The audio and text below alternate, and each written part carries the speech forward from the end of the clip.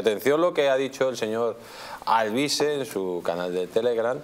Ha dicho que la reina Leticia, atención, apoyó la ley de amnistía de Pedro Sánchez en una cena de embajadores.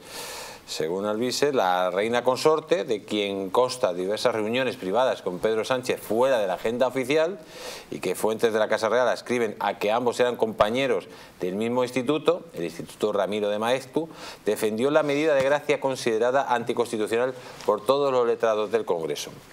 El motivo aducido por doña Lauticia fue la imposibilidad de instalar a España en el conflicto permanente, ahondando en la obligación del rey Felipe VI de acotar su acción al marco constitucional que tiene, que no lo decide él.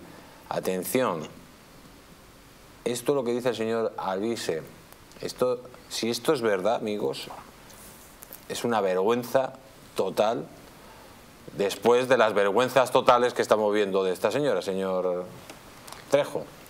A ver, eh... Bueno, he sabido que esta señora es, es marxista, es atea y que tiene unas relaciones muy buenas con Pedro Sánchez. Sí, bueno, eso, eso, sí que es cierto porque eso es lo que podemos lo que podemos observar a través de las cámaras. Lo que pasa que que yo sobre, sobre ese tipo de comentarios que ha vertido el señor Albises a través de sus redes sociales, eh, sinceramente no puedo opinar, porque yo no sé si son ciertos o son falsos. Yo creo que, que de, ser, de, ser, cierto sería una grave irresponsabilidad, siendo ella eh, la reina consorte, es decir, la, la, esposa de su majestad el rey. Pero claro... Bueno, ya vamos a esta señora, acuérdese, eh, hacer hablar públicamente a favor de la Agenda 2030, sí, eso sí lo hemos sí, visto. Sí, eso sí lo hemos visto. A favor de, de, postulados de la extrema izquierda, lo hemos visto abiertamente. Por lo tanto, tampoco tendría que sorprendernos sí, que, que, siguiera los postulados de la extrema izquierda con este tema. Es cierto, no, debiera, no, no, no nos sorprendería si la escuchásemos, pero tendríamos que escucharla tendríamos que escucharla, ¿no? Y, por otra parte sería una irresponsabilidad, sobre todo sabiendo que, que después de la amnistía viene viene el referéndum y viene la voladura de lo poco que queda de España. Y lo poco que queda de España es precisamente eh, su marido y su hija. Porque al, al, al, suegro ya se, ya, ya se Pero claro, si, de ponerlo si fuera de España. ha dicho esto, es que lo que usted está diciendo, está tirando una auténtica sí. un disparo en la pierna a, a, su marido y a su hija. Si, si, realmente lo ha dicho, es así, pero como no podemos confirmarlo, o yo no tengo capacidad para confirmarlo, no lo, no lo puedo afirmar, si no, si no, no le quepa la menor duda que se lo afirmaría como en otras ocasiones. Señor bueno, yo no tengo problema con la ideología de la reina consorte. De hecho, estamos eh, viviendo en, en una democracia. Hay que digamos, salvaguardar la pluralidad política, que por cierto el otro día hablaba Sánchez de la pluralidad política y en la misma frase ponía que había que ponerle otra vez el cerco eh, contra Vox, ¿no? Entonces, eh, bueno, dice la, ya una cosa y la contraria en la misma frase, ya ha batido todos los récords. En este caso, bueno, de la reina consorte pueda tener su ideología, lo preocupante es que esa ideología en este contexto especial que estamos viviendo, que estamos viviendo en un momento muy especial y por eso muchos profesionales bueno, hemos dado un poco el paso adelante para oponernos frontalmente, incluso comprometiendo también nuestra, nuestra tarea profesional. Pero porque que estamos viviendo... es que usted está diciendo una cosa muy importante, es que aquí nos estamos jugando el tipo. Sí, totalmente. ¿Eh? Y mucha gente se, en Ferraz se está jugando el tipo, ¿por qué? Porque se está dando un golpe de Estado. Totalmente. Y mientras nos estamos jugando el tipo,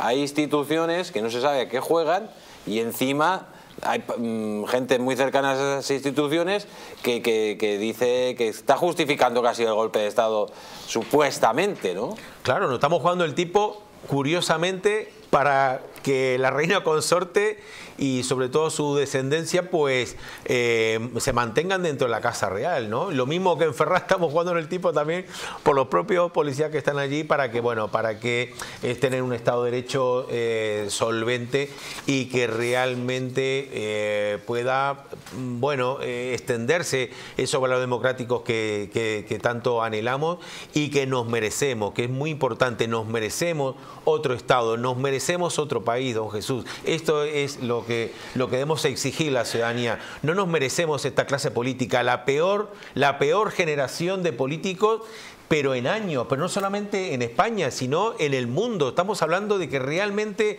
hoy, por ejemplo, que ha sido eh, eh, condenado el Ministerio del Interior a través de esa sentencia del Tribunal Supremo con las devoluciones en caliente, no ha pasado absolutamente nada. Es más, el gobierno eh, en pleno ha incluso criticado la sentencia diciendo que la respeta, pero la, la critica. Y aquí no es posible que ante hechos tan graves no exista lo de dimitir, que parece que parece que sea un nombre ruso, porque aquí nadie entiende que ese es un verbo que es de obligado cumplimiento. Tiene que haber dimitido, por ejemplo, Marlaska y todo lo que está pasando es realmente escandaloso que, bueno, a mí se me está haciendo larguísimo el 2024, sinceramente. Señor Dalmao, si, mm, como dice el señor Trejo, eh, le han metido un gol a su majestad el rey con el señor Villarino, si, como dice el señor eh, Alvise, eh, la consorte va diciendo en cenas con diplomáticos que está a favor de la, de la amnistía. Si, como dice usted, ha habido indultos, ha habido malversación que ha dado Sánchez, ha habido pacto con terroristas, eh, como dice el señor Araujo, o sea, no cumplen las leyes, se pasan la Constitución por el arco del triunfo. En este contexto eh, vemos que no hay contrapoderes en este país que la figura de un jefe del Estado, por ejemplo, como hay en Portugal, un presidente de la República, hubiera intervenido ya y esto lo hubiera parado, o en Francia, o en Italia, o en Polonia, o donde fuera. Pero aquí es que el pueblo está como en 1808, está vendido. Bueno, no sí, estamos vendidos por nuestros políticos porque no nos representan, estamos vendidos por los partidos políticos porque evidentemente son un fin en sí mismo y no son eh, un medio y de representación y estamos vendidos por el, por el propio sistema porque nos estamos dando cuenta que se trata de un sistema fallido. Pero por entrar directamente con el tema del rey, eh, la, la monarquía no puede tener política. Repito, la monarquía no puede tener política porque la monarquía lo que tiene es el principio de legalidad y el principio de legitimidad. Y el, principio de legalidad y el de legitimidad viene eh, directamente dictaminado por la ejemplaridad en todos los órdenes que tiene que dar el rey. El rey tiene que estar a favor de la ley, tiene que estar a favor de los ciudadanos, a favor de la unidad nacional y en defensa de los derechos y libertades fundamentales de todos nosotros. En eso es lo que debe eh, basarse el rey, porque entonces si no tendremos que cuestionarnos si vamos a necesitar un rey o no vamos a necesitar un rey. ¿Y usted, ante esta situación, qué, qué opina?